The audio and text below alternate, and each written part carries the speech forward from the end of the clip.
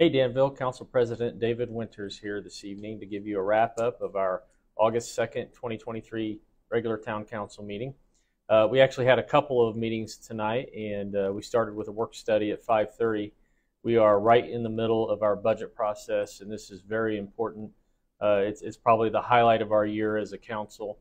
And uh, tonight we, we heard from several uh, individuals, including the police department and the fire department, as they talked about their budget and their needs going forward. So if you get a chance, uh, check out that meeting on YouTube. a lot of good information there. Um, tonight we have with us uh, the town planner, Lisa Ternay.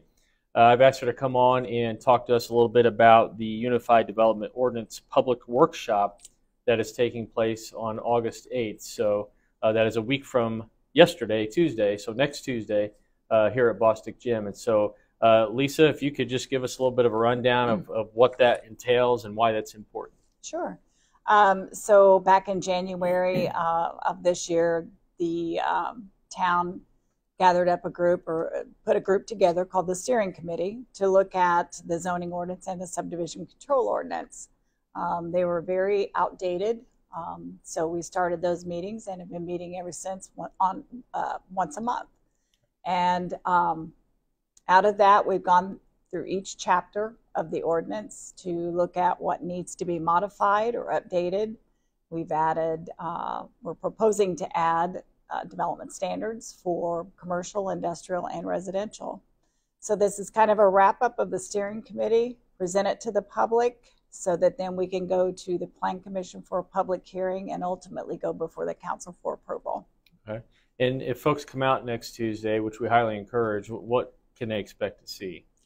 Uh, they will have, uh, we will have a copy of the draft ordinance available for people to look at. Uh, there's going to be several poster boards that will be up. Uh, one will include the town's zoning map um, and some of the changes that we're going to do with the zoning map.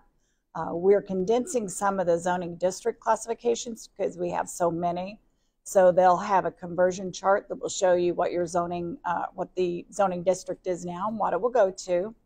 Um, so yeah, there's going to be a lot of information there, and we want the public to come out so that we can get your feedback we want your input because this does affect you.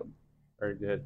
Well, thank you, Lisa, for being on tonight. Thank you. And, and thank you for all that you do uh, to help this town move forward. Uh, the planning uh, portion of what we do is, is so critical as we have uh, new neighborhoods coming in and new businesses coming in. So we appreciate all that you do in your department. Thank you. Uh, well, folks, uh, th thanks for joining this video tonight. And if you didn't get a chance to make it out, to the council meeting and the work study this evening, I want to encourage you to check us out on YouTube. And uh, if you're around and available, we have uh, another work study and a council meeting on August 16th. Very important things happening this summer. And uh, check us on out. Until then, have a great week.